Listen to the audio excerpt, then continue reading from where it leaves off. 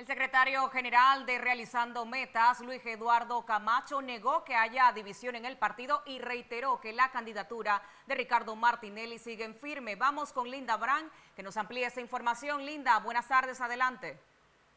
Buenas tardes, Yami Rivas y José Luis Ríos y amables televidentes de Next Noticia. En efecto, el secretario general del partido Realizando Metas, Luis Eduardo Camacho, ha negado rotundamente que haya división en el partido realizando metas, lo que hay como parte de un país en democracia en diferentes opiniones y manifestó que se debe mantener respaldo a todos los candidatos que fueron electos democráticamente a través de las elecciones internas del partido realizando metas y reiteró a el país que la candidatura presidencial de Ricardo Martinelli y el señor Mulino, como vicepresidente, se mantiene en firme y eh, reiteró que no es la Corte Suprema de Justicia quien inhabilita una candidatura y que el tiempo, los términos para excluir de la papeleta electoral para las elecciones del próximo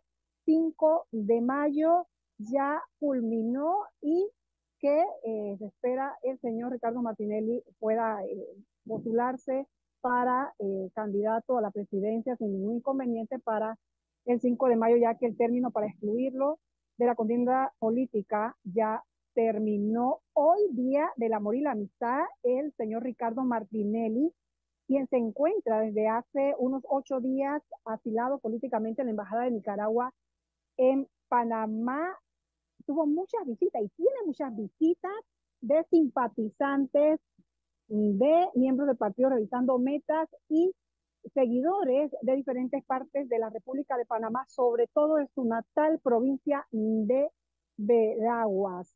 Es lo que le puedo informar por el momento y se mantiene la seguridad. En menos de una cuadra hay un punto de control de la Policía Nacional. Cerca de ocho unidades se mantienen desde muy temprano, las 24 horas, en estos puntos de control.